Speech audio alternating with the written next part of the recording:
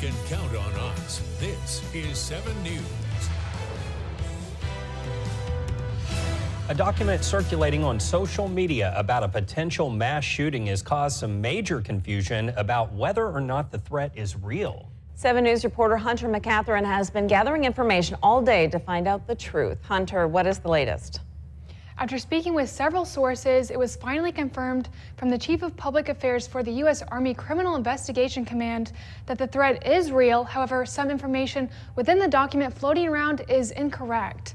The document stated that the Fort Sill CID office received an intelligence bulletin about a potential mass shooting to occur at a movie theater at an unknown location on October 4th during the release of the movie Joker. The document stated that the information came from the Travis County, Texas Sheriff's Office. However, that is not true.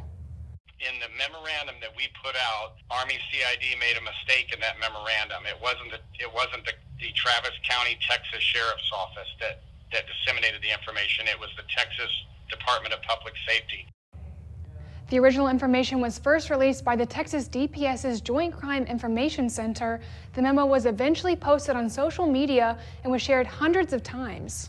Again, the Fort Sill special agent in charge made a, decision out of abundance of caution to notify a select group at Fort Sill of Army soldiers and leaders uh, just to warn them about this and give them a you know a warning about it. And that once that once that was done, that it was uh, outside of law enforcement channels, and it it has gone from there.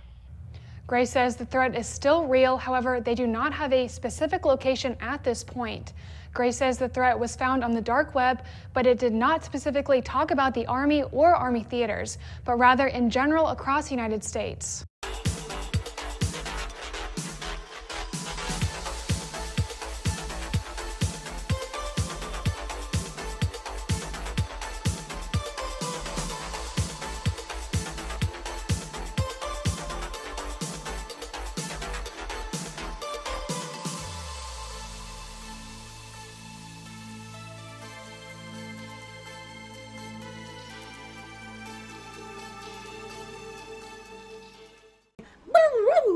Woo!